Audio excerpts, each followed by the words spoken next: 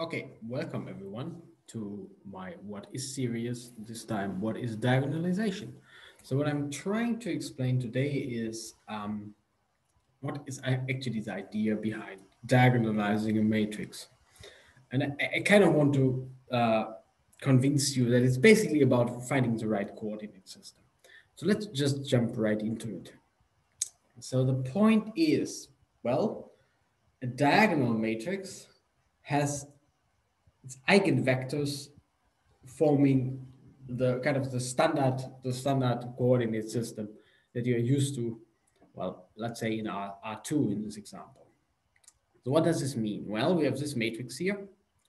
Um, and you can see the two well there are two eigenvectors namely 1 0 and 0 minus 1 and you can see them here because they form exactly uh, well um, 0, 1 or 0 minus 1 doesn't matter. They form exactly the, the coordinate axis here. So here, this vector is definitely an eigenvector of this matrix. So this picture is the action of the matrix on R2. Um, and this is what this matrix is actually doing. And you can see clearly that you here have uh, an axis with eigenvalue 1 and its eigenvalue one again because everything kind of points in the direction you think it should point like increasing in this direction decreasing in this direction. You have another axis here which is this one. And it's obviously an axis right? It's completely fixed by the action of the matrix. And it points in the opposite direction as you should expect it because you have eigenvalue minus one. And so this is a minus one eigenvalue and this is the one eigenvalue. So for a diagonal matrix, a diagonal matrix is nothing else than a matrix. Well, let's say you, you don't have any zero eigenvalues, then the diagonal matrix is nothing else than a matrix where the eigenvectors are actually x's of your um, of your uh, visibly x's of your of your matrix. Uh, for uh, let's say a, a, random matrix, a random two by two matrix, of course it's not random, I've chosen it, but you know, something that comes up in the wild, something like this, well, you can kind of see the eigenvectors. Uh, so here's an eigenvector pointing here along, along this line, going all the way here. And here's another one. So along this line, here's an eigenvector Uh, up. So those are the things that kind of stay stay fixed under this. Again, this picture is the action of the matrix on R2. And of course, those axes stay fixed, as you can see. But they are not in standard form. And that's why this matrix is not diagonal. It has two axes, but you kind of need to do something to them until they, they look like the standard axes of, of R2. Here, they're just really just standard axes maybe with an inverted scalar because or, or, maybe something stretched, but we don't care about that. We are linear algebra anyway, so everything is just well defined up to scalars in some sense anyway. So I, I don't, I'm not worried about that. I'm more worried about that those two axes are not in standard positioning. The question is, given a matrix in the wild like this one, can you find axes that can, can you find kind of kind of rotation scaling or whatever such that um, the matrix is actually uh, such that the eigenvectors actually become axes right? The xy axes are eigenvectors. That's oh maybe i should have used the other color. The xy matrices are eigenvectors. And in contrast the xy matrices are not eigenvectors. Okay does this actually work? Why does it make sense? Well, because everything kind of in, in our standard coordinate system, matrices tend to look nice. That's kind of the idea. Um, okay, let's try to do this. I, I just take this matrix. So I, again, I'm starting with the, my blue matrix here, and I, I, kind of want to make it nice. So here's my blue matrix, and well, those are the, the two eigenvectors, a half and minus one. So this is my a half and minus one, the red one. Uh, this was the red one from before, and the other one was goes a little bit in this direction. That's a blue one, and that's uh, uh, sorry, the other, exactly the other way around. So this is a red one, and this is a blue one. It goes a half and minus one, a half and minus one, one and a half. Okay, they're not in standard form. And what I do is something very easy.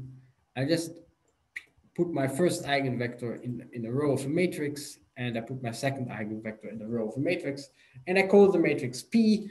And what I'm interested in, let's say this matrix is M, then what I'm interested in, what is actually P inverse times M times P. Right? So M is my starting matrix. I take the eigenvectors of my starting matrix, I put them in a row of a certain other matrix, and I ask, what is this? What is this thing? Well, let me explain this, why this makes geometrically sense in this example. I just take the same matrix as before, P of A, but I throw in some parameter which I want to think of, of, of a parameter that changes through time. So let's see. So P of one is where I wanted to end up by because P of one, what is it? P of one, let's, let's have a look at it. Uh, this term dies, it's a half minus one, a half one. So P of one is actually P itself, right? And P of zero, let's, let's have a look at it. P of zero, well, P of zero is built such that this identity matrix. Right? I, I kind of want to convince you that this is a good definition by seeing everything in action. So P of one is um, this rotation-like thing action on, on R2 again. And P of two thirds, so this is this is what happens after after two thirds. P of two thirds is is almost where we want to be, right? So here you have an axis, it's almost perfect, and here you have an axis. Very good. You just have to turn it a little bit more, right, to get in place. But what I want to do is I want to convince you that kind of this matrix kind of continuously does it. And I'm doing this by showing you um, a little video what this matrix is doing if you vary A. And here you can see it. So if I vary A, so here I start with the original picture. I make A bigger until it goes to one. So I start from zero to one. And you can see it, it really just rotates the original picture in place. It just rotates the original picture in place. So that's what this matrix actually, actually is doing. Very good. So that's why, why I kind of think of like a, a, the diagonal matrix. And this, um, if you do this calculation, well, you can already see that this matrix actually is the matrix, uh, let's call this, let's call this one n, n from before. So this is diagonal, and you can see it in the picture because um, for a equals one, this will just be the, the, the two eigenvalues, eigenvectors will be exactly those axes. Okay, um, so basically diagonalization of a matrix is to look at the action of the matrix on your whatever space and see where the eigenvectors are. The eigenvectors should form kind of like a coordinate system and you rotate and scale it in place that, that's basically what's going on. And the way to do this is, um, it, it, might work, it might not work. I show you in, uh, in a second an example where it doesn't work, but in almost all cases it will work. And the way to do it is you just need to calculate first the characteristic polynomial. And and basically you, you, you, calculate the roots of those polynomials, which are the eigenvalues. And if you have n of them, you're in business, everything's fine you find the corresponding n eigenvectors, um, you put them in a row of a matrix called a P, and you do this calculation. Okay, that's kind of the easy step. And this will, whenever you see a matrix in the wild, almost always this will this will be the case almost always. If no, it gets a bit more complicated, um, and you need to find those linear independent solutions um, on, on eigenvectors, and then it depends whether you, you find enough of them to form a coordinate system. If yes, you can still coordinate, uh, you can still move everything into place. If no, then you need to do something different, which will, which will, you will see in the, uh, you can check the what is the Jordan normal form. Then you go need to do something like a Jordan normal form. So not all matrices are actually diagonalizable. Okay, the, the, the, formal definition is exactly what you think it is, a matrix over some field. I just showed you the real numbers. That's good enough. Uh, matrix over some field is diagonalizable if there exists some invertible matrix such that this is diagonal. And this happens if and only if there exists a basis given by the eigenvectors. And the natural question you should ask, okay, yeah, the natural question you should ask is, are all, uh, are all matrices diagonalizable? Well, the answer is yes and no at the same time. So basically all matrices are diagonalizable. Let's say if you work over an algebraically closed field like C, you're, you're very, very happy and almost all matrices are diagonalizable. For example, this matrix, which again depends on A, is only not diagonalizable if A happens to be zero. And if you choose random A, then it's basically never zero, so it's almost diagonalizable. And well, you can kind of see it in those pictures. So for A equals, for A small, it doesn't look like there are any axes at all, but this is just because I'm using the real picture here. So this is always a real picture.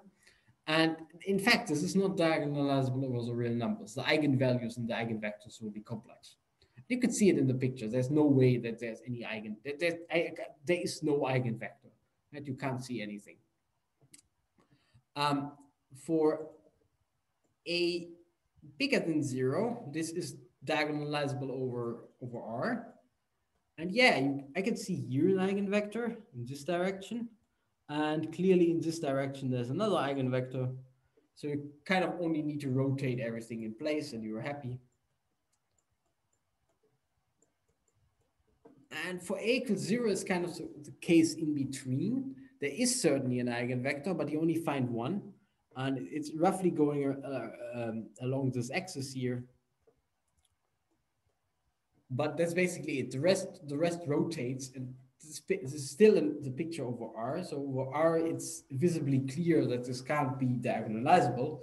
Over C, the same thing will happen, um, which is not clear from the real picture, of course, but the same thing will happen um, yeah, so the takeaway message is that we will see next time um, that all basically all matrices are diagonalizable and being diagonalizable means just that there is some arrangement of the eigenvectors that if you rotate and permute and scale and whatever those matrices do, uh, you move it into place and it gives you the standard coordinate axis of whatever, k, k to the n or r to the n. Thank you very much for your attention.